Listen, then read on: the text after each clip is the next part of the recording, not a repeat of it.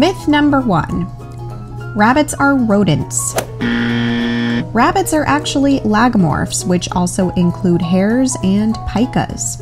While rodents and lagomorphs share a common ancestor, they couldn't be more different, as seen in their diets, bodies, and teeth. Myth number two Rabbits need a bath. Rabbits groom themselves several times a day, just like cats. They clean themselves so meticulously that bathing is not necessary. In fact, submerging a rabbit in water can actually cause hypothermia and mental trauma. Occasionally, if you have a special needs or elderly rabbit, you may clean their hindquarters with a damp cloth. Myth number three rabbits stink. Rabbits actually don't have any odor whatsoever.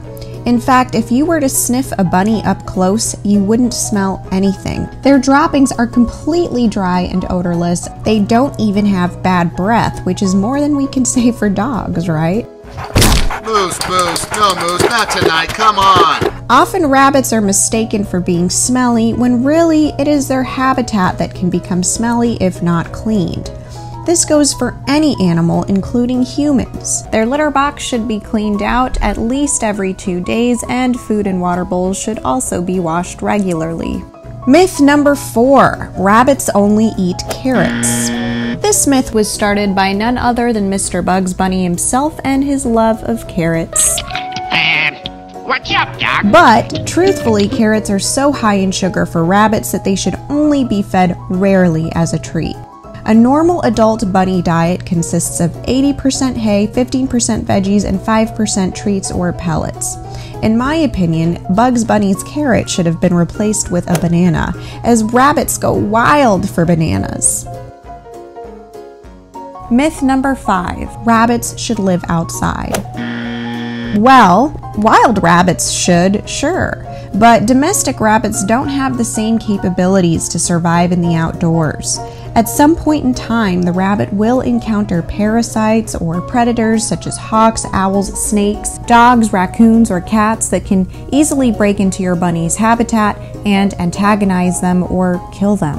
Rabbits are also very sensitive to heat, cold, snow, and rain. They can even get scared around thunder and lightning. Not to mention, there's the chance they could dig themselves out of their enclosure and go missing. But most importantly, why wouldn't you want to spend every waking hour with your bunnies? The best way to bond with your rabbits is to share a space with them.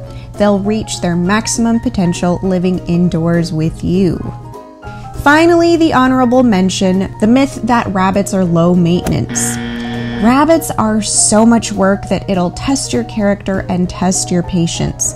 Sometimes you'll have sleepless nights, and other times you'll probably vacuum for the fifth time that day. But nothing compares to the love and companionship that you'll receive from your little soulmates as they thank you for taking care of them. So that's it for this video, guys. And yes, there are plenty of other myths, but these are some of the most common ones that I hear. Thanks for watching and checking us out. Don't forget to like, comment, subscribe, hit the notification bell, and we'll see you soon. Bye.